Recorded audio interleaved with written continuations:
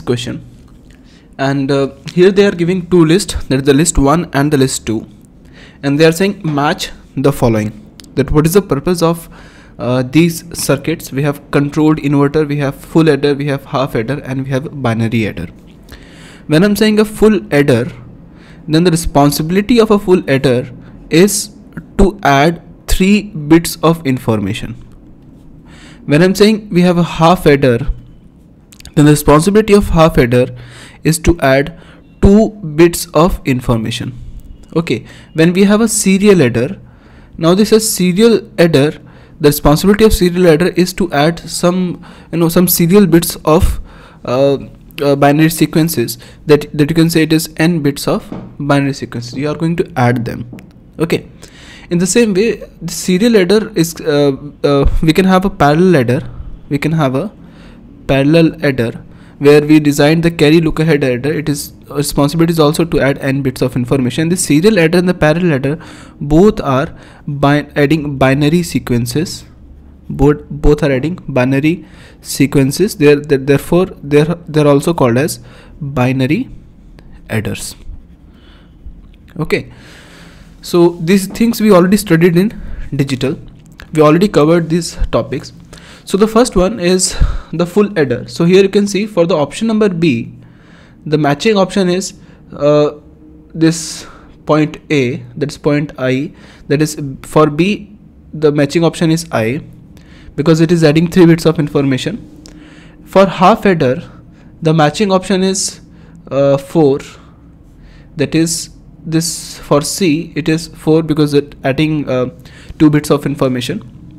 Then for d there is the binary adder that binary adder is adding uh, some okay it is adding some binary numbers or can say two binary numbers so therefore the option is 2 the circuit that can add two binary numbers that is called as binary adder for d the option is 2 now the remaining option for a is 3 okay. See in such kind of question it is not necessary that you should know uh, the answer of the exact matching of all the four options. Even if you can give three correctly then you can easily predict the fourth one if uh, these are uh, already given. Now from from this you can see uh, for option number a we have three. For option number a we have three. So second is actually wrong. For option number b we have one. So obviously one and three they are directly wrong. You can clearly say that 1 and 3 they are wrong because they are not giving the exact information. Okay so only option which is remaining is option number 4 so here you can clearly see here this is uh, all these are making difference and for these two points these are making difference.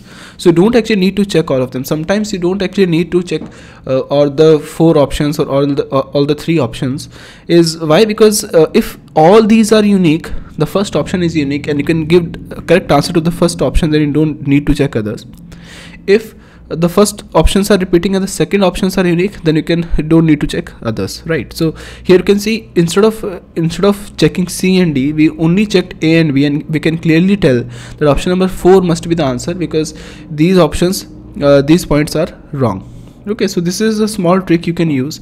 See what happens is uh, in any competitive examination or in any for example UGC NET examination if you have 100 questions out of these 100 questions uh, all these questions are having uh, you know four options. All these questions are having four options. Now you have a choice. Okay so even uh, there are multiple ways of solving these questions. Number one is you know the correct answer or if you don't know the correct answer then you can play on um, something called as prediction or uh, elimination method. Elimination method and what is this elimination method? Is that if for example uh, if in every question if in every question you can eliminate two options you can eliminate two options. You can eliminate two options right? That means uh, when i'm saying two options that means you can clearly say that those two options are wrong then obviously the other two options will be correct. Therefore the chances of getting a right option is 50% therefore chances of getting the right option getting right option is 50% is 50% so you can see using statistics what you can do is out of this 100 question if you answer every single question by eliminating two options then at least 50% of the questions will be correct.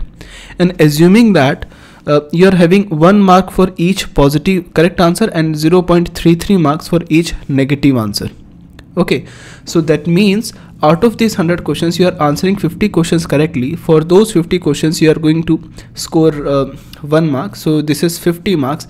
Subtraction uh, for those 50 questions for which you are giving a wrong answer that is 50 multiplied by 0.33 right? So that is 50 minus somewhere between uh, 0 uh, 1 7 somewhere between 17 point 17 point something. Okay so that is you can clearly see that even if you mark these options correctly like this still you are going to get somewhere around 34 marks right so in every question again you are going to eliminate again i'm repeating in every question if you have 100 questions and in every questions you can eliminate that two options are wrong. And out of the two options if you still have some kind of confusion you can still mark it because if you are uh, implementing this for 100 questions still there's a probability that at least 50% of the questions or at least 50% of the marks which you have done that they are correct. And with those 50% questions you are going to score 50 marks and those you have done wrong you are going to subtract 17 point something marks from that.